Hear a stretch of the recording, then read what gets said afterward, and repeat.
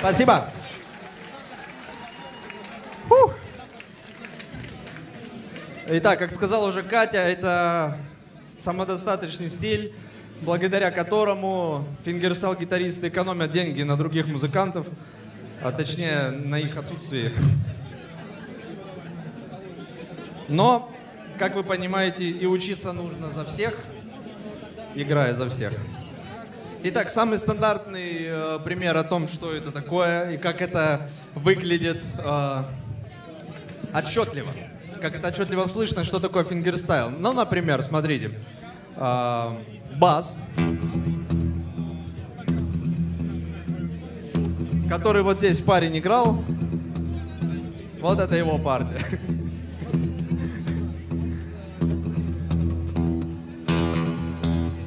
Теперь элемент перкуссиониста.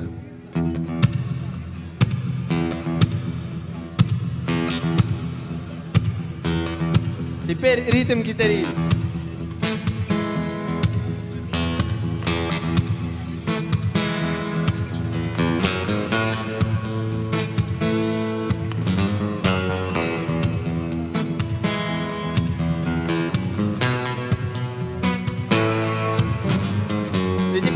Теперь соло-гитарист.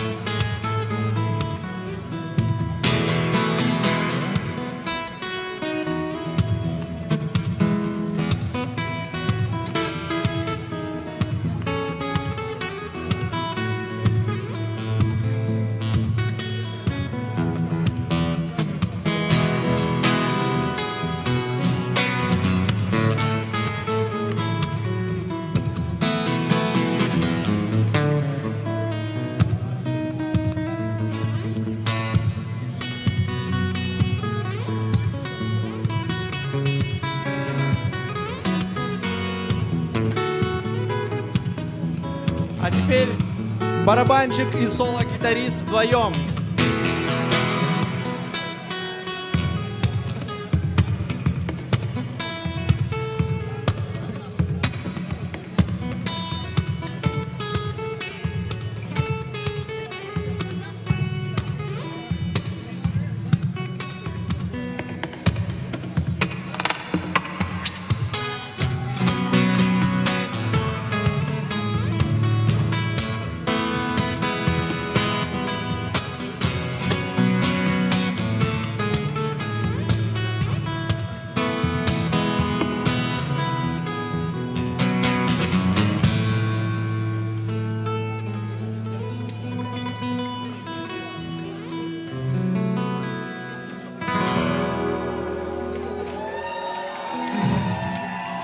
Спасибо.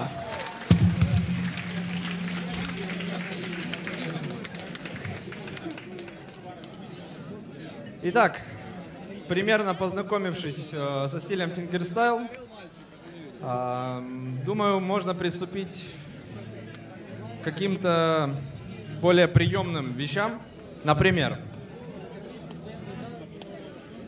это была одна из техник, которой пользуются фингерстайл-гитаристы. У каждого гитариста свой набор, э, арсенал техник и фишек, которыми пользуются гитаристы. И самый, наверное, базовый и исторически один из первых — это техника бумчик.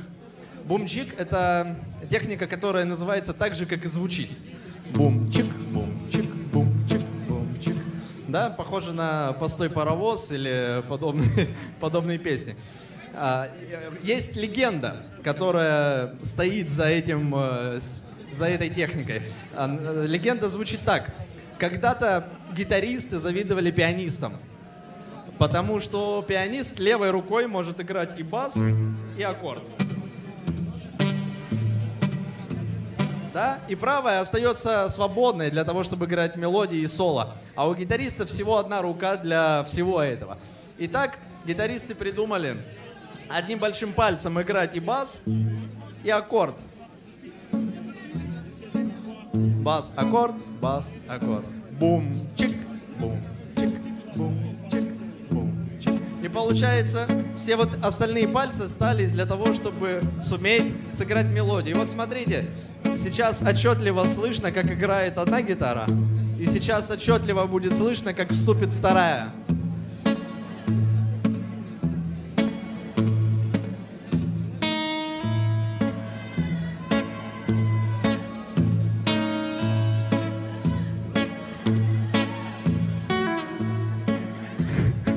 Понимаете, да? То есть это просто принцип, я сейчас показал.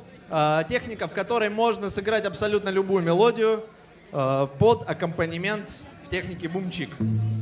Итак, э, какими еще техниками пользуются гитаристы? Ну, например, есть еще техника искусственных флажелетов, которая звучит как волшебная шкатулка. Да?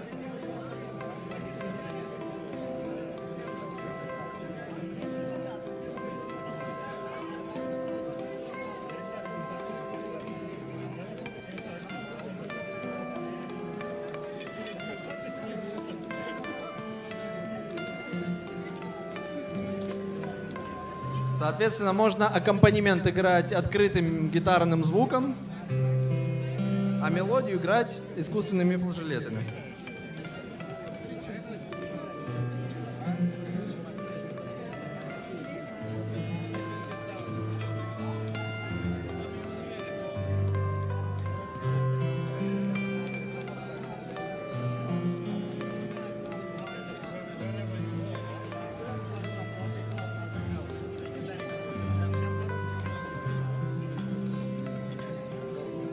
Получается, что как будто бы гитара аккомпанирует, а мелодию играет какая-то шкатулочка. А, плюс, я хочу сказать о том, как вообще все это придумывается. Все это же, конечно же, придумывается с помощью экспериментов. И я хочу вам э, рекомендовать экспериментировать. Всем, кто хочет играть э, фингерстайл на укулеле, я не знаю, как вы это будете делать, честно. Честно, потому что... Потому что Потому что когда, когда я играл э, фингерстайл, учился играть фингерстайл на гитаре, мне также говорили, я не знаю, как ты это будешь делать. И я сам не знал, но я просто экспериментировал и искал и находил какие-то разные штучки. Например, э, я думал о том, как можно изменить звук струн, на которых я играю мелодию, так, чтобы они поменяли тембр. И смотрите, что я придумал. Э, это обычный медиатор, я сделал прорези для первых двух струн и нацепил э, медиатор на, на первые две струны. Медиатор, кстати, со Спанч Бобом.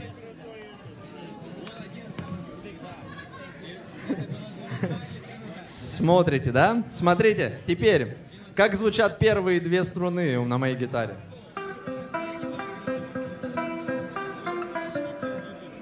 Прикольно? И вот смотрите, я играю, допустим, э, бас, Потом играю ударные. Потом аккомпанемент.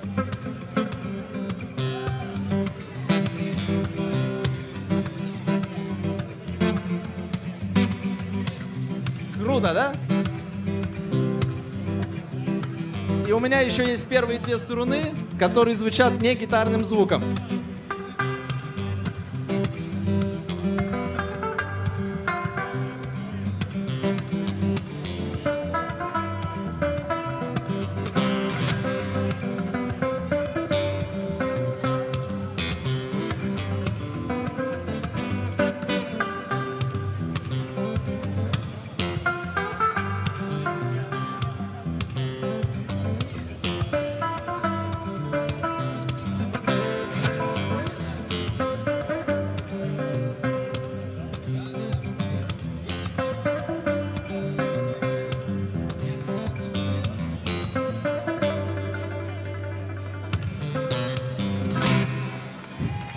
Например, такая штуковина. Вы можете экспериментировать со своими инструментами, делать то же самое, искать какие-то фишки, штучки, ходы. А также, а, плюс э, в этот же принцип, э, я думал дальше, и а, мне пришла в голову идея э, вставить между струн, продеть еще одну струну.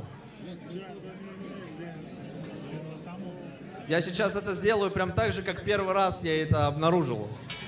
Смотрите, я вот так снял э, кусок струны, который у меня здесь есть в запасе. Кусачки.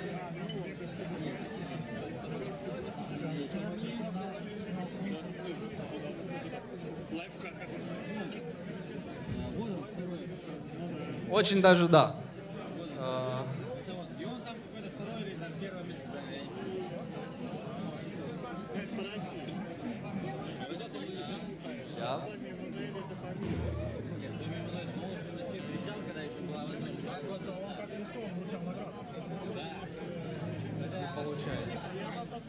Крепкая.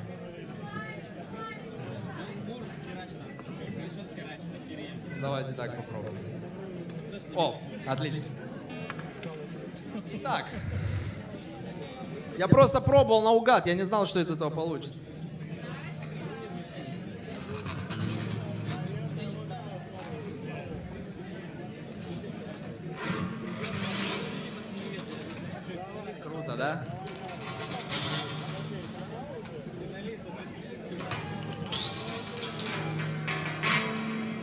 Так создаются новинки.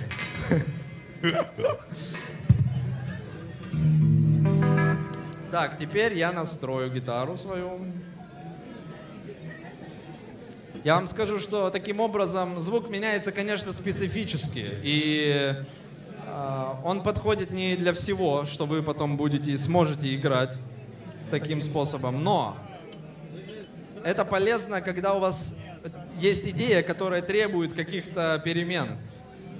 Например, у меня была идея э, сыграть свою авторскую тему, которая привязана сильно к восточному стилю и к восточной музыке.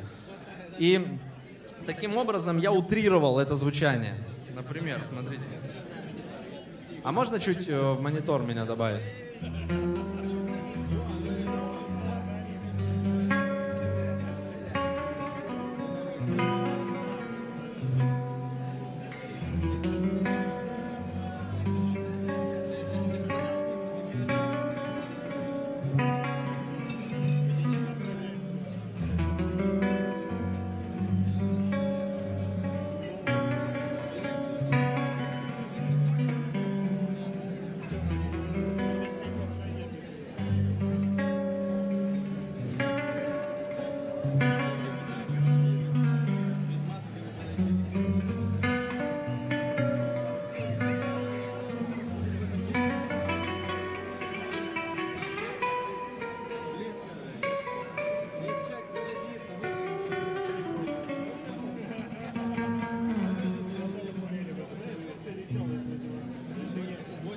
Допустим.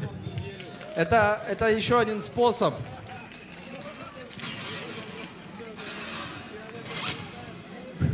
к тому, чтобы менять звук и э, как-то расширять возможности. А, если все резюмировать, то фингерстайл — это выход за рамки. Да? Это, это то, что не подразумевает стандартный подход, э, стандартный принцип, и это то, что вы должны найти своем инструменте в первую очередь. Но, но сначала вот здесь. Итак, э, я хочу сыграть э, свою авторскую композицию, э, которая называется Wild Heart. Она иллюстрирует жизнь на Диком Западе.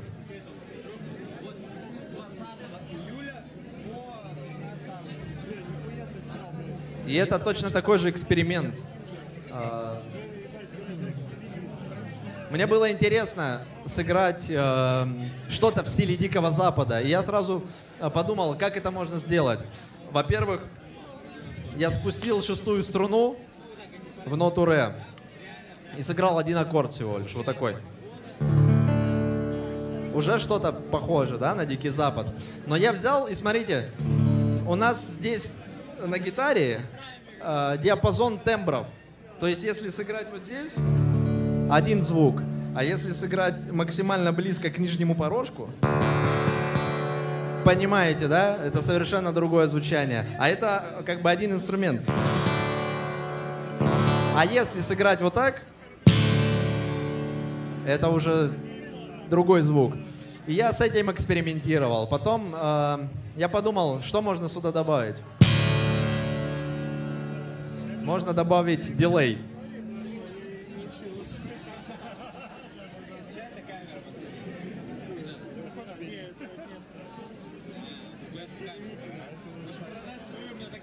Дальше. Атмосфернее стало, да, больше объема появилось. Потом, э, что ассоциируется с Диким Западом? Э, лошади.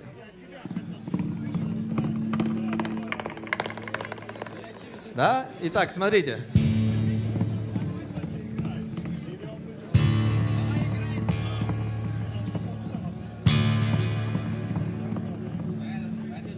Это уже э, поиск настроения и атмосферы, ассоциаций. Дальше я представил э, дуэли, которые также ассоциируются с Диким Западом, и свист пролетающих мимо пуль, который я нашел э, следующим звуком.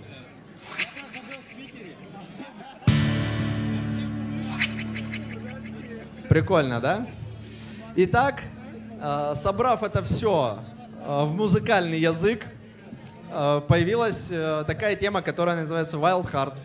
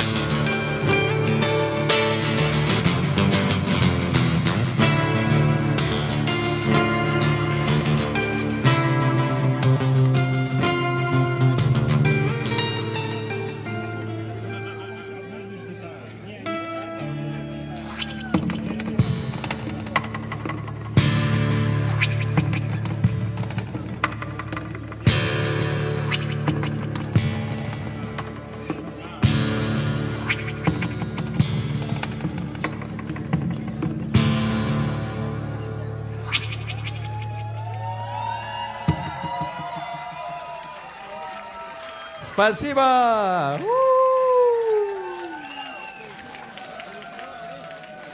Спасибо.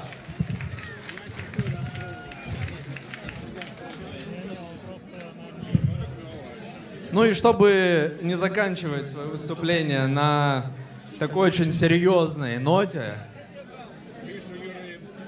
я сыграю для вас что-то очень веселое. Ну или, по крайней мере, сыграю весело. Это уж, это уж точно.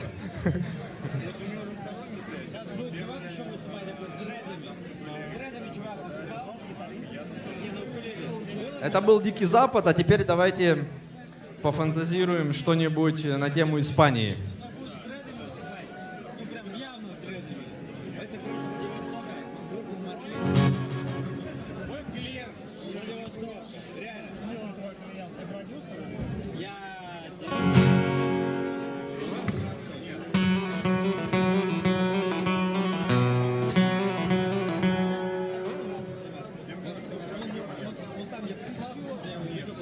Смотрите, у меня звук в правой руке.